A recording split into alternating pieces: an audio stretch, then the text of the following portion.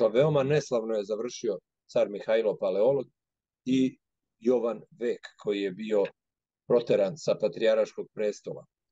Posle toga, potpisivanje Florentinske unije dešava se neposredno pred pad Carigrada.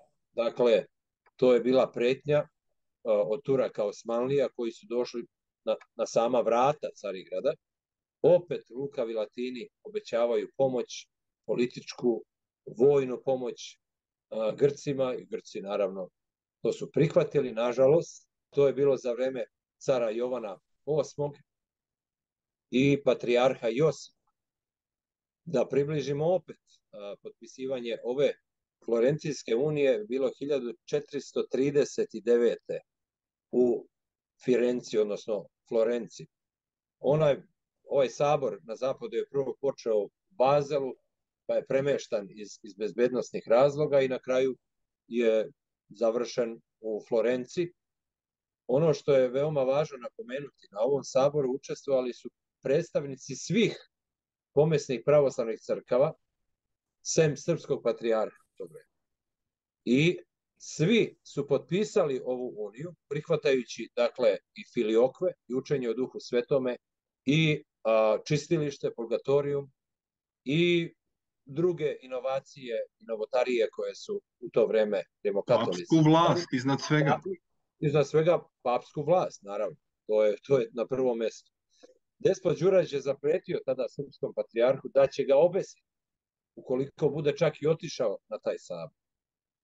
Tako da srpski patrijarh nije otišao na sabor. Ruski patrijarh je potpisao uniju kad se vratio u Rusiju. Rus, veliki ruski knez ga je pogubio zato što je tim činom naneo veliku sramotu dakle, ruskoj carevini.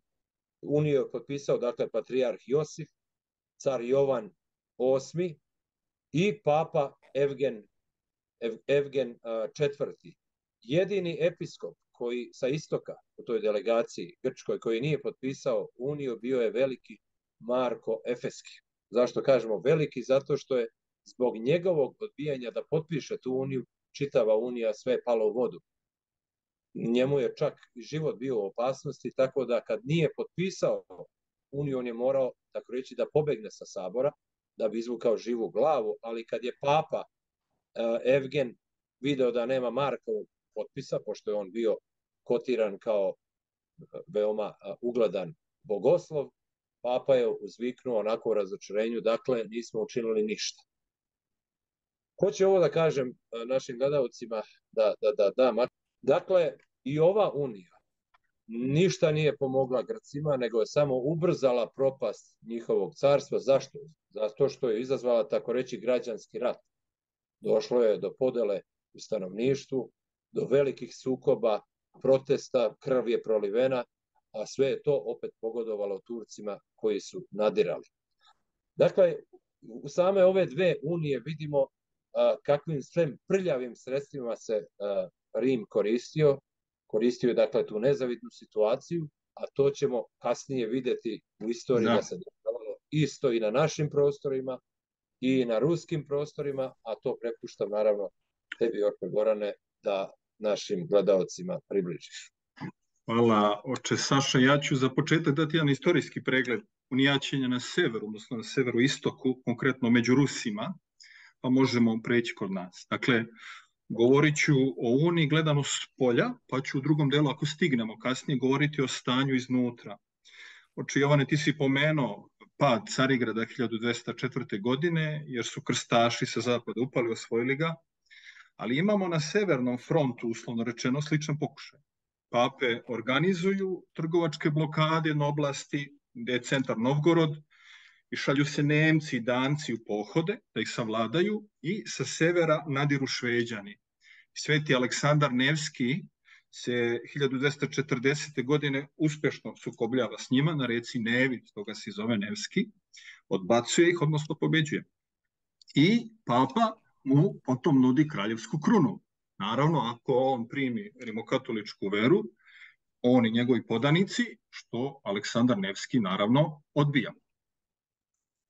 I dok se to dešava na severu, na jugozapadu, u maloj Rusiji, ono što danas zovemo Ukrajina, imamo Mongole, Tatare koji pustoše taj deo zemlje i odvajaju od ostatka Rusije. To imamo do dan danas. Odvajanje tog dela od velike Rusije, da se ona oslabi. I borbe Rusa da vrate to pod svoju kontrolu. Od tuda datira i ovo što Carigrad Fanar radi danas. Znači, kada Mongoli odvajaju taj deo od Rusa, oni uzimaju nadležnost duhovnu, pa Rusi to vraćaju pod svoju nadležnost, Fanar im to priznaje, da bi pre neku godinu Fanar opet napraviši veliki raskol, vratio teritoriju male Rusije pod svoju nadležnost. Imamo to što imamo danas.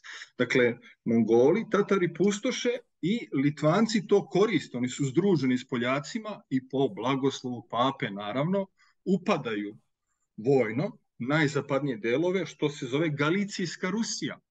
I u Lavovu pravoslavna crkva se pretvara u rimokatoličku. I tu smo već u sredini 14. veka. I biskupi se postavljaju u veće gradove. To su Galić, Vladimir i tako dalje. I papisti tvrde da su to od uvek bili rimokatolički prostori i naselja. Šveđani na severu nastavljaju da ratuju protiv Rusa, a papa je naravno blagoslovio križarski pohod protiv pravoslavnih Rusa. E, sve, dakle, možemo reći u bratskom, ekumenskom duhu, ništa spor.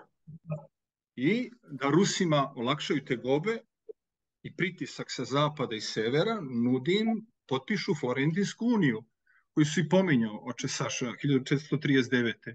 Što se i događa Ali nedugo posle toga mitropolit Isidor, koji je potpisao, biva proteran, to si spomenuo.